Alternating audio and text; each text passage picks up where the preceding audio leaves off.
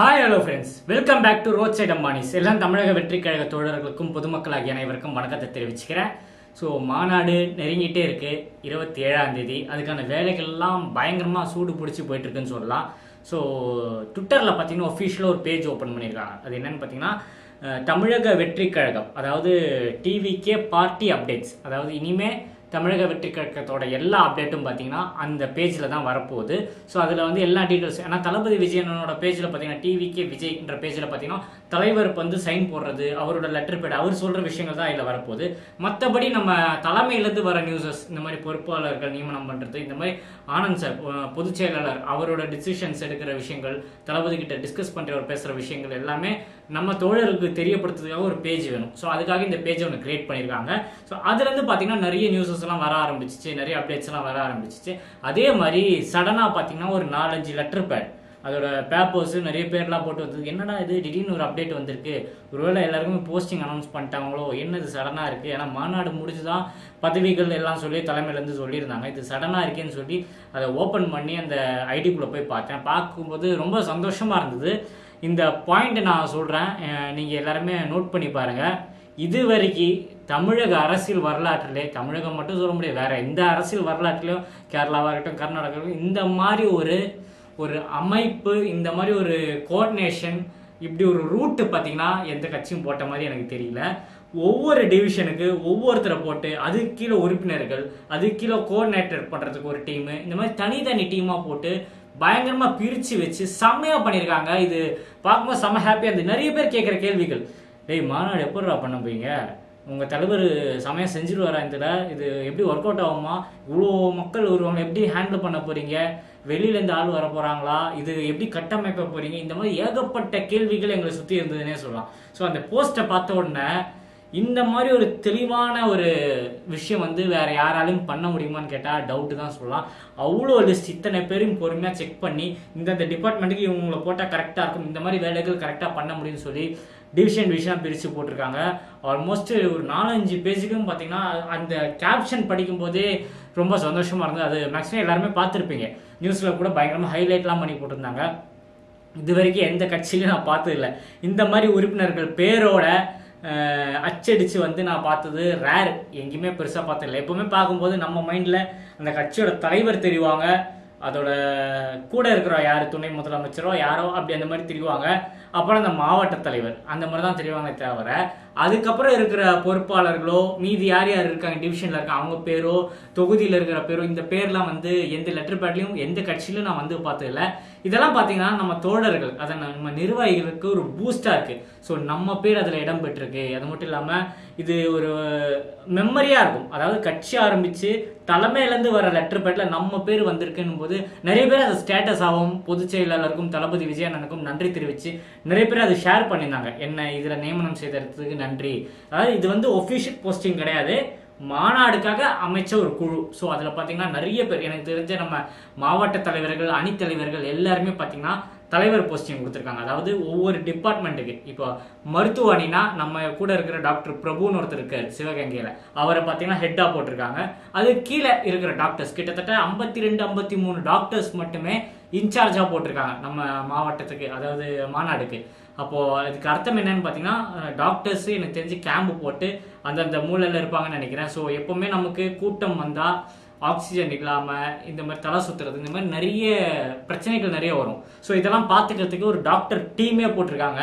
இது எப்பவுமே இப்போ கட்சி இப்போ ரீசெண்டாக நடந்த நிறைய விஷயங்கள்லாம் பார்த்தீங்க. கட்சியோட மீட்டிங்லாம் நடக்கும்போது வெளியிலேருந்து ஹையர் பண்ணுவாங்க. அதாவது எங்களுக்கு டாக்டர்ஸ் வேணும். கவர்மெண்ட்டுக்கு ரிக்வஸ்ட் பண்ணி அவங்க சார்பாக பார்த்தீங்கன்னா அங்கங்கே போட்டு பண்ணுவாங்க. ஆனால் எனக்கு தெரிஞ்சு நம்ம கட்சியில் இருக்கிற டாக்டர்ஸ் டீமை ஒரு டீமாக எடுத்து அது லேட்டஸ்ட்டாக நம்ம அந்த ஃப்ளட்டு வந்த டைமில் பார்த்தீங்கன்னா கேம்ப் போட்டோம். ஒவ்வொரு ஏரியாவில் கேம்ப் போடும்போதும் நம்ம மருத்துவ அணியிலேருந்து தான் வந்திருந்தாங்க. ஸோ அதே மாதிரி பார்த்தீங்கன்னா இந்த மாதிரி ஒரு டீம் போட்டிருக்காங்க. டாக்டர் பிரபு அவரோட தலைமையில் பார்த்தீங்கன்னா எல்லாரும் போட்டிருக்காங்க. எல்லாருமே பார்த்தீங்கன்னா அந்தந்த தொகுதியில் இருக்கிற டாக்டர்ஸ் இப்போ சென்னையிலேயும் இருக்கட்டும் சித்தார்த் சித்தர் பாண்டியன் சொல்லி நம்ம சென்னை கிழக்கில் இருக்கிறவர் இந்த மாதிரி பல ஏரியாவில் இருக்கிற டாக்டர்ஸ் எல்லாம் பார்த்தீங்கன்னா அந்த அவங்க பேர் போட்டு பக்கத்துலேயே எந்த மாவட்டம்? செங்கல்பட்டா செங்கல்பட்டு சென்னையா சென்னை திருவள்ளூர்னா திருவள்ளூர். டாக்டர் அவங்க பேரோட உறுப்பினர்கள் லிஸ்ட்டில் போட்டிருந்தாங்க. பார்க்கும்போது ஹாப்பியாக அதே மாதிரி அட்வொகேட் இதை எடுத்து சொல்லி ஆகணும். லீகலாக அட்வொகேட் விங்குன்னு சொல்லி போட்டு வட சென்னையில் இருக்க தனபாலன் நமக்கு தெரிஞ்ச எல்லா நிர்வாகிகளும் இருக்காங்க. அது மட்டும் இல்லாமல் எந்தெந்த மாவட்டத்தில் அட்வொகேட் அதுவும் அவங்களெல்லாம் பார்த்தீங்கன்னா லீகலாக அதாவது நம்ம அட்வொகேட் லீகலாக மூவ் பண்ணுறதுக்கான விஷயங்கள் எந்த பிரச்சனைகள் வந்தாலும் அந்த டைமில் ஃபேஸ் பண்ணுறதுக்கான அட்வொகேட்ஸ்க்குன்னு ஒரு தனியாக லிஸ்ட்டு இதெல்லாம் பார்த்தீங்கன்னா ஒஃபிஷியலாக லெட்டர் பேட்லேயே வந்துச்சு. இதை பார்க்கும்போது ரொம்ப சந்தோஷமாக இருந்தது. நான் பேசிக்காக ஒரு நீங்கள் ஆல்மோஸ்ட் பார்த்துருங்க பேசிக்காக இதில் கொடுத்துருந்த கேப்ஷன்ஸ் எல்லாம் படிக்கிறேன் பாருங்கள் அதாவது வரவேற்பு குழு. இது எதுக்குன்னு பார்த்தீங்கன்னா வரவங்களை இன்வைட் பண்ணுறதுக்கான வரவேற்பு குழு அதே மாதிரி நிகழ்ச்சி ஒருங்கிணைப்பு அந்த ஒரு குழு ஒன்று போட்டிருக்காங்க. அது அதுக்கப்புறம் பொருளாதார குழு ஃபினான்ஷியல் அது போட்டிருக்காங்க. போக்குவரத்து அதாவது ரோட்டில் வர்றவங்க போகிறவங்களுக்கு எந்த பிரச்சனையும் வராமல் அவங்க கரெக்டாக வராங்களா பார்க்கிங் வசதிக்கு அதுக்குன்னு ஒரு டீம் அதாவது வாகன நிறுத்தம் குழு அதுக்குன்னு ஒரு டீம் தனியாக வந்து வண்டி எங்கே பார்க் பண்ணணும்னு சொல்கிறதுக்கு ஒரு டீம் எல்லாமே கிட்டத்தட்ட பார்த்தீங்கன்னா நாற்பது பேர் ஐம்பது பேருக்கு மேலே இருக்காங்கன்னே சொல்லலாம். மேடை அதாவது ஸ்டேஜுக்கு ஒரு டீம் போட்டிருக்காங்க. உள்ள சேர் போட்டு உட்கார்ற ஒரு அவங்களுக்குன்னு ஒரு டீம் வச்சிருக்காங்க. இருக்கை சேர் அந்த டிபார்ட்மெண்ட்ல ஒன்று வச்சிருக்காங்க.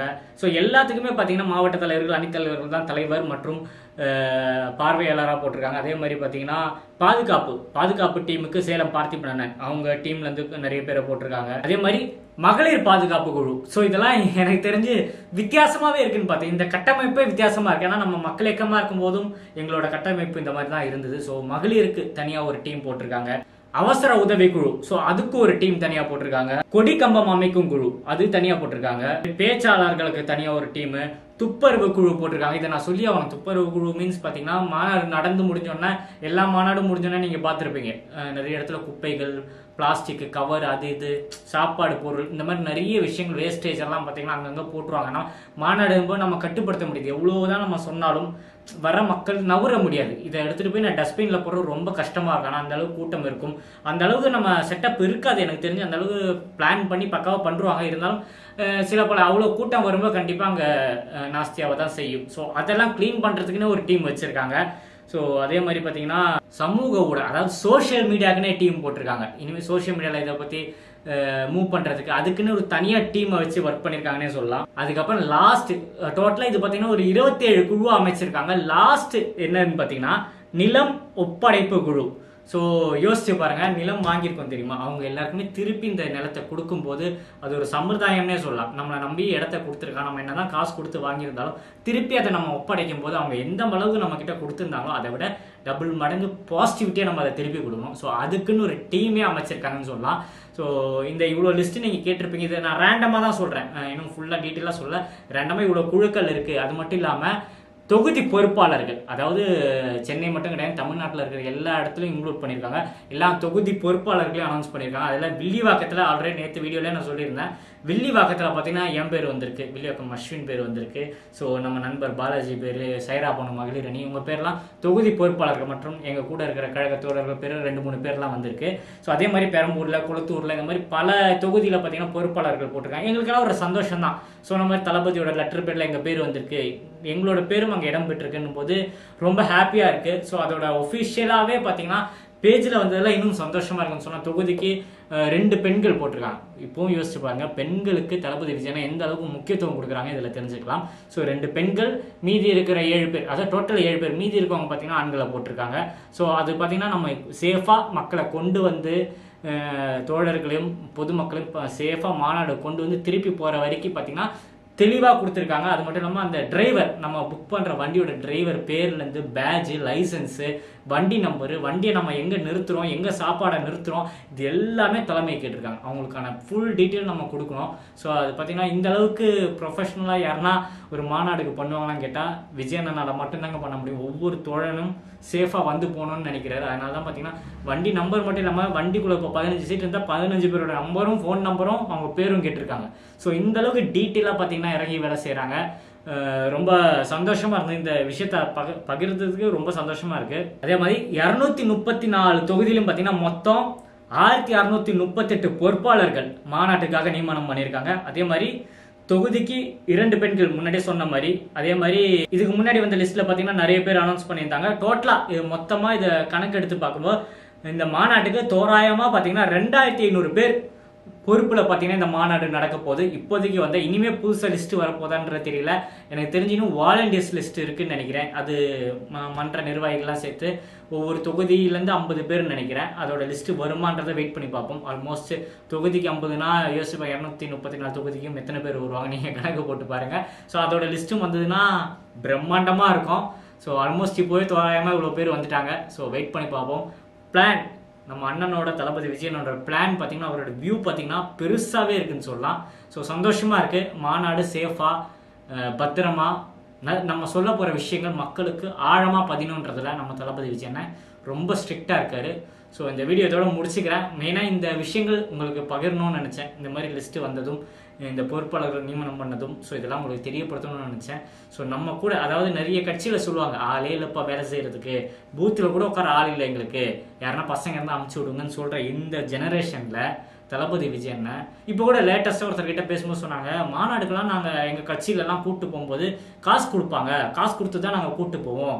உங்கள் கட்சியில் என்னப்பா காசு கொடுக்காமல என் ஒய்ஃபு போகிறேன்றாங்க என் பையன் போனோன்றான். இந்த மாதிரி சொல்லும்போது ரொம்ப சந்தோஷமாக இருக்கு. ஒத்த ரூபா செலவு இல்லாமல் இத்தனை க்ரௌடு வராங்கன்னா மக்கள் அடுத்த லெவல் போ சிந்திக்க ஆரம்பிச்சிட்டாங்க. ரெண்டாயிரத்தி இருபத்தாறில் ஓட்டு எப்படி மாற்றி குத்துறாங்கன்னு மட்டும் பாருங்க. விஜய் அண்ணா ஒரு இடத்துல போய் உட்கார வைக்கிறதுல எனக்கு எந்த டவுட்டும் இல்லை. டுவெண்ட்டி டுவெண்ட்டி சிக்ஸ் நம்ம தான் இன்னும் நிறைய வீடியோவில் சந்திப்போம் ஸ்டாட்டா டேக்கர் பாபாய் நான் உங்கள் ஏஜே நன்றி.